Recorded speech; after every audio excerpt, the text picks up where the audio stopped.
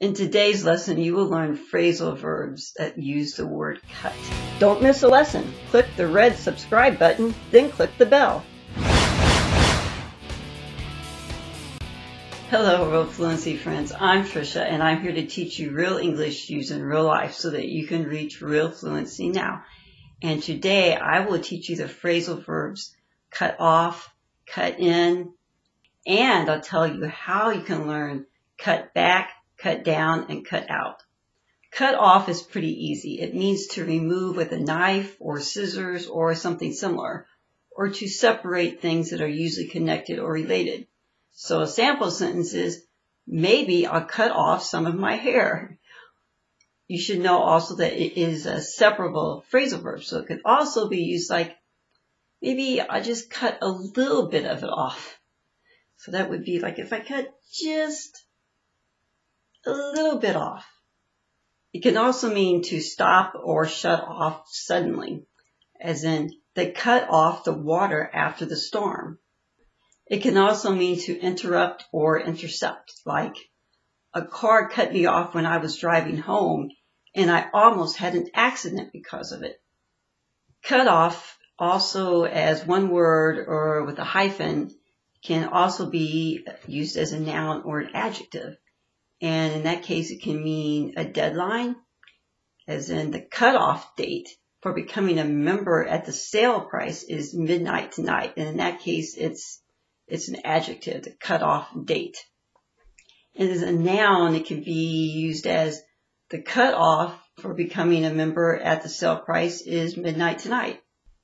It can also be used with the meaning as being something related to stopping something as in you should know where the water cutoff valve is in case you need to shut off your water in a hurry. Also as a noun, it can mean shorts that have been cut from longer pants. And I have a pair of some cutoffs here. So these are some old cutoff jean shorts of mine.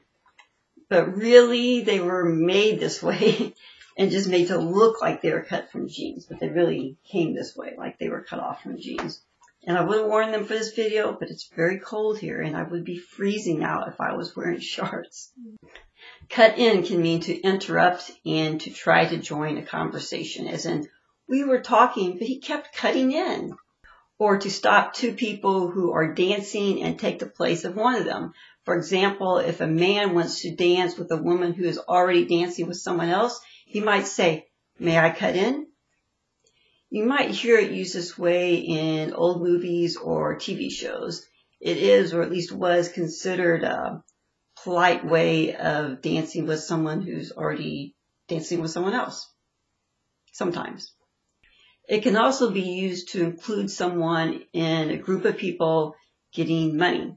You might hear this also in a movie or TV show, especially with people doing something illegal, like they almost killed him after he suggested they cut him in on the profits from the drugs they were smuggling.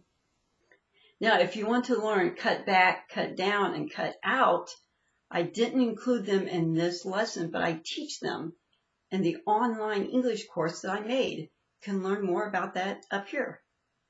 It's time for some more practice exercises. So fill in the blanks with either cut off as two words as a phrasal verb or cut off is one word, word is an adjective or noun, or cut in. Number one, I can't believe he was so rude. We were having a nice conversation when he just suddenly blank. Number two, I'll blank a little and save it for later.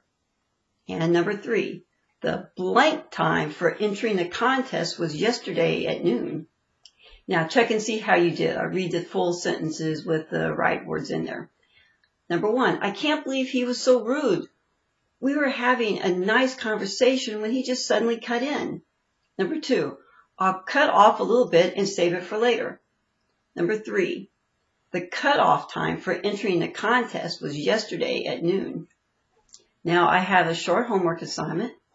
Make a sentence in the comments with either cut off as two words or cut off as one word or cut in in the comments and I'll give you some feedback on that. That's all for today's lesson. Please subscribe to my YouTube channel if you haven't done that yet. And also you can sign up to get emails to get more English help from me. And if you have the time, please stay here and watch more of my English lessons here on YouTube. Goodbye, and remember, with hope, anything is possible. What do you think, Hope? Ah!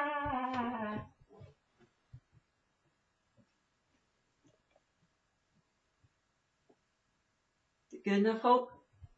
I hope so. I hope you think so.